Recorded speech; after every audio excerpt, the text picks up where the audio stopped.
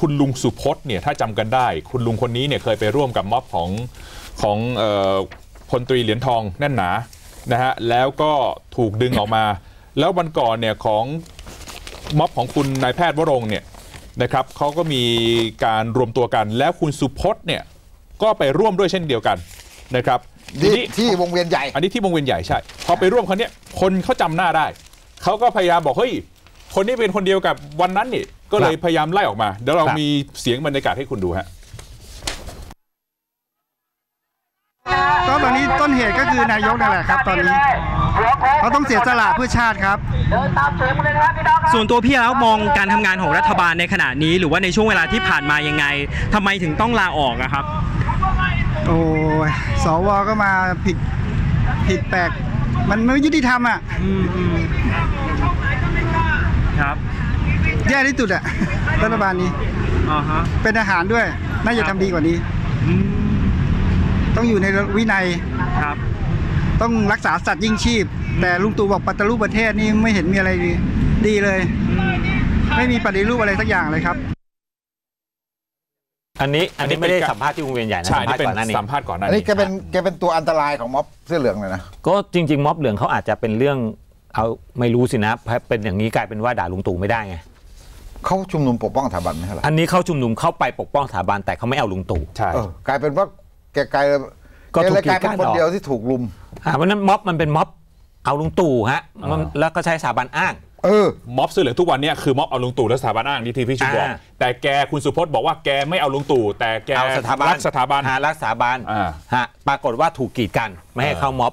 ครั้งที่แล้วถูกเกือบจะโดนลุมกระทืบ ครับ อ่า เพราะฉะนั้นมันแสดงให้เห็นว่าม็อบนี้แหละ มันครับอ้างสถาบันแต่จริงๆแล้วรักลุงแต่ตู่เข้าใจว่าข่าวก่อนหน้านี้เนี่ยคุณสุพจน์เนี่ยเคยไปม็อบนักศึกษานะ ไปชูป้ายเดียวกัน อ่าใช่ ก็ไม่มีปัญหาไม่มีใครว่าไม่มีเอปัญอหาก็ทุเขากก็คนชูก็เห็นเรื่องการชุมนุมได้ เขาก็ชูป้ายอันนี้ทำนองนี้นะ ใช่ แล้วเมื่อวานไปวงเวียนใหญ่ก็โดนด่าทอหัวร้องขับไล่ตะเพิด แล้วก็มีชายเสื้อเหลืองหัวเกรียนเนี่ยกันออกไปจากพื้นที่ อืมอืมนะครับ โอ้คืออันนี้แบบคือ ผมก็คิดว่าตกลงเนี่ยเขาจะทำอย่างนี้กันเหรอฮะ คือเราจะเห็นว่า ผมเชื่อว่าในกรุงเทพที่เขาจัดเนี่ยก็มีคนที่เขาคิดอย่างนี้จริงนะ แต่ผมคิดว่าในต่างจังหวัดเนี่ยมันมันแสดงออกให้เห็นชัดเลย ผมไม่เคยผมไม่คิดว่าต่างจังหวัดเนี่ยมันไม่ได้มาด้วยการที่แบบไม่มีการเอ่อสนับสนุนหรืออะไรต่างๆ ของหน่วยราชการ ผมว่านี่ชัดในต่างจังหวัดเป็นแบบนี้โอ้โหมีคนสองพันสามพันอะไรต่างๆแล้วตัวเลขก็เกินจริงด้วย ครับ เราไปดูภาพแล้วโอ้โหประเภทแบบที่บุรีรัมย์ใช่ไหมฮะ อะไรอย่างเงี้ยครับ คือลำบากแต่ว่าแหมคุณไม่ได้นัดหมายไม่มีสื่ออะไรเลย แล้วคุณออกมาพึบๆพร้อมกันเนี่ย มันก็ต้อง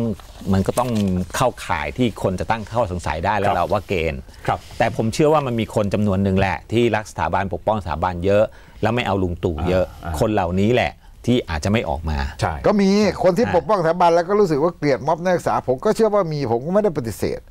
มันก็มีคือคือพวกนี้ก็มีเขาก็ออกมาอย่างเช่นที่ผมเห็นที่มาสวนลุมมาอะไรต่างๆเนี่ยนะนี่คุณอู้หน้าอีกแล้วนะ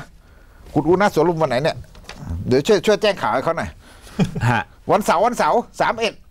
เริ่มเวลาหกโมงไอ้สี่โมงครึ่งแต่คุณบินเนี่ยนัดหนึ่งอ่าเราก็ช่วยไปทำโอ้ยเหนื่อยจังวันที่หนึ่งเหรอฮะวัฮะที่หนึ่งพฤศจิกาที่ไหนฮะ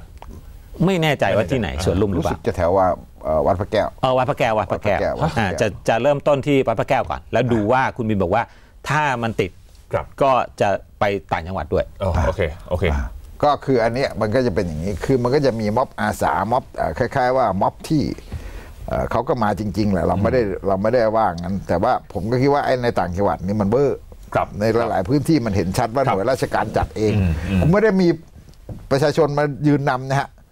นายอำเภอมั่งอะไรมั่งเนี่ยมา ยืนนำอยู่ครับเห็นชัดๆนะครับแล้วทีนี้คือคุณทำอย่างนี้มันคือการสนับสนุนรัฐบาลมันคือการปกป้องรัฐบาล อืมอืม